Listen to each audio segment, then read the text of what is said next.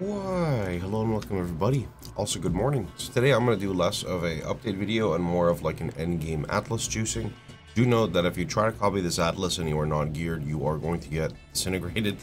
So this is basically a very endgame version and it doesn't mean you're supposed to transition from my Atlas Tree 1 into this Atlas Tree. It's just something I wanted to share with you guys for what we're doing in the live streams.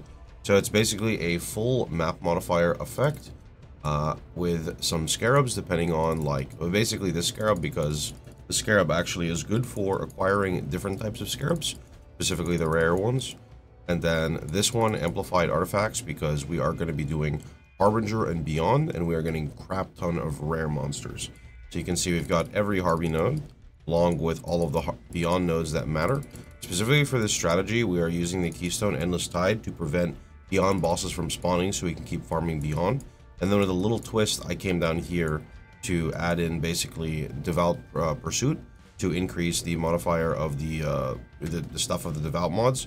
So basically like extra pack size, extra loot drop. I don't really know how beneficial it is right now, but in the patch that's coming up, this should be getting uh, buffed. And then I want to also come up here and grab Eternal Torment just for extra rare mobs. With that being said, here's another look. I'm currently juicing with three times regular Harby Scarab and one times Harbinger Scarab of Regency. If you wanted a more Harbinger focused Atlas, you can replace one of these Scarabs with a Discernment, which basically gives you like a gotcha. It's like a big gamble. Either you get nothing or you get Omega Fracture Orbs and stuff. I've made a ton of currency on this Atlas, uh, not including all of the fragments that I have, or sorry, the Scarabs I farmed, which is uh, kind of a lot. So I've really been enjoying it. The price of the Harby Scarabs have been going up, so I imagine, you know, it's going to be harder to break into. Oh, that being said, I'm going to stop yapping and let's get into it. I also go 6C on Harby, so that's 6, 12, 18, 24. These are about 3C, so 24, 25, 26, 27. I can buy Deli Orbs at 5C each, so that's 32. So about 32 Chaos when I hit Activate right here. Okay, uh, we got plus one modifier and less pack size, so this is overall kind of scam. I don't really care who goes where here, so sure, yeah, whatever. Okay, here we go. Now, I don't have Defiance of Destiny on my build yet, so there's a chance I can die in this type of content as it gets very dense and very juiced very fast. Just now, recently, I have actually opted out to drop shrines for more scarabs. Recently, I was also on shrines, but I was suggested to drop them, so I'm dropping them to see if I like them more. Now, the main purpose of this atlas is not only farming Harby currency, but also beyond currency. So the trick with Harby and beyond is when you pull across a mysterious harbinger like that right there, he will just start shitting out mobs. You kill the mobs and they shit out beyond mobs and it kind of just it kind of just like loops like that right? Uh, kind of like pulling to get rare drops you know currency etc but also just killing a bunch of mobs because killing mobs is a lot of fun in poe this is where i would say chieftain really specializes with Hinekora you know Hinekora being the 5% explode node that creates the crazy ignite. This is the type of content i really like playing on my rf chieftain doing content like this, I can farm enough currency to literally play like pretty much whatever I want. So it is enjoyable for me. Oh, this is a very, oh boy, this is a big room. I actually have to say, with this strategy, I managed to blue screen my PC yesterday for the first time. Not sure if I'm proud of that or not, to be completely honest. I don't think I am proud of it, but you know, it is what it is.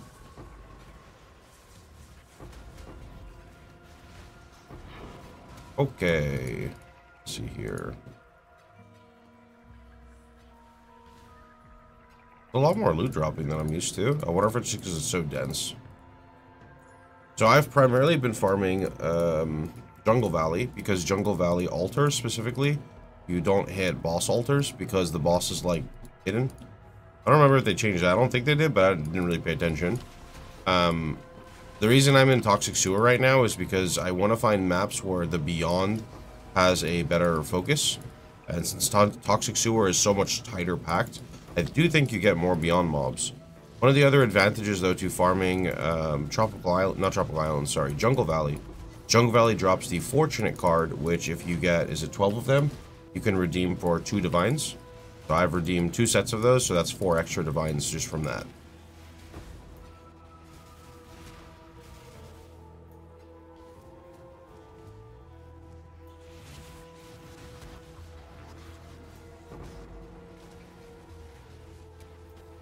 I think today on stream, we're going to poke around with testing Breach.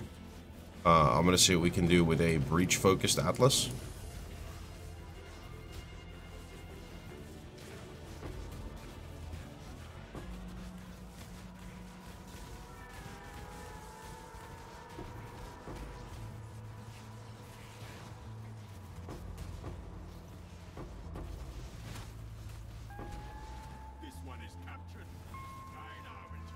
Thanks, Einhar. I appreciate that.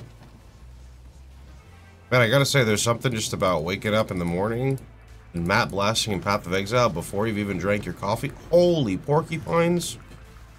What damage mods were on those porcupines to do that?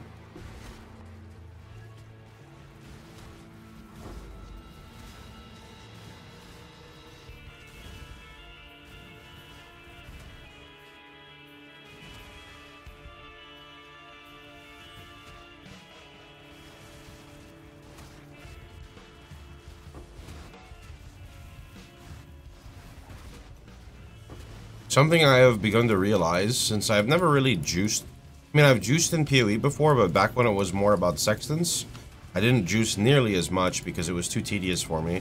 But I've learned a lot from juicing already. Like, I learned that Harbingers respawn monsters that are based on your monster type.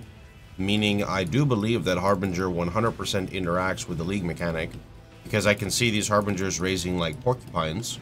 So when you get like a modifier that says 50% pack size, I do think that applies to the Harbinger. Now, I very well could be wrong here. I did another test by running a Goatman map, and the Harbingers were only spawning goats. So, kind of cool.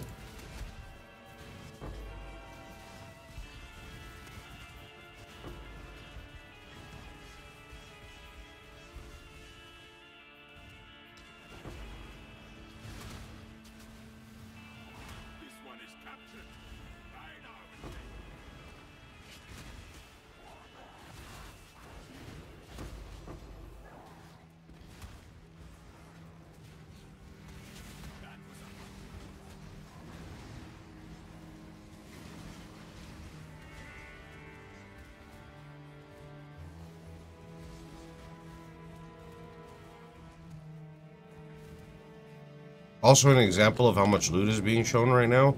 Uh, this is the end game. Uh, actually, this is hyper end game on the Atlas. I created a, a, new one so you can actually see right here.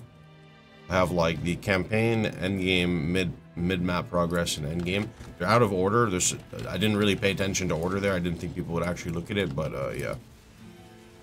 End game is after mid game.